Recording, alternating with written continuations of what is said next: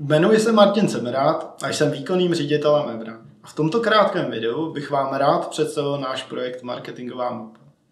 Projekt je určen pro majitele malých a středních firm, kteří v sobě mají touhu neustále posouvat svoji firmu dopředu.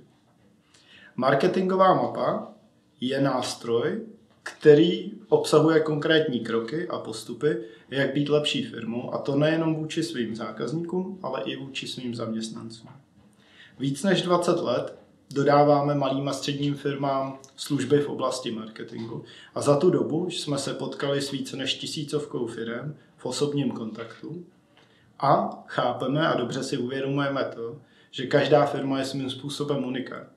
My jsme ale v těch všech firmách hledali společné mechanismy, principy, které fungují úplně na všechny firmy a pomáhají jim být lepší.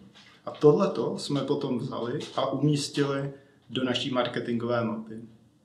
Je pro nás obrovsky důležité z pohledu společenské odpovědnosti, aby se mapa dostala a ujala v co největším množství firm a pomáhala jim se zlepšovat.